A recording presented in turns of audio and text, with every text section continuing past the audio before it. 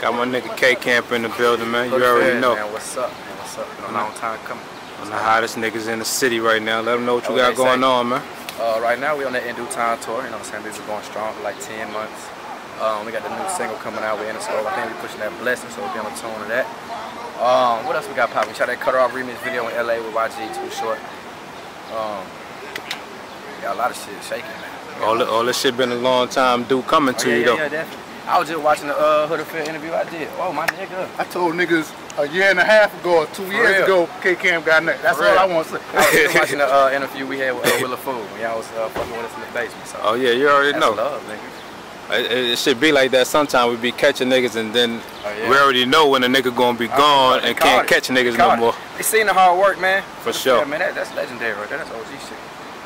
So let them know you got the Cut Her Off joint. You've been touring around the city. We're on the road. We're doing all these summer jams. Um, what else we got popping? We got the Blessing video shoot coming. We're shooting that Made Me with Snootie Wild in LA. Um, it's a lot of shit. I, I be I be lost in it. And what, what made you make the move to Interscope? Like, Interscope, man, they they they was talking when we was talking. You know what I'm saying? Right. Since legit, since I was goddamn coming up in music, I always wanted to get signed to Interscope. Yeah. So when they reached out and they they seen the vision, cause all the other labels they was fucking with us, but everybody didn't see the same vision that we seen.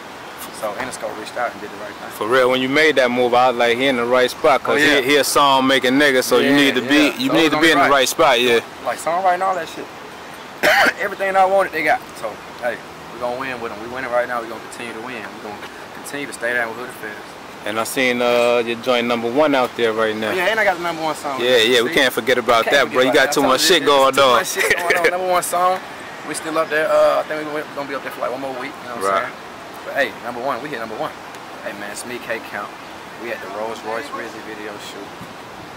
Shout out Hood Affairs, man.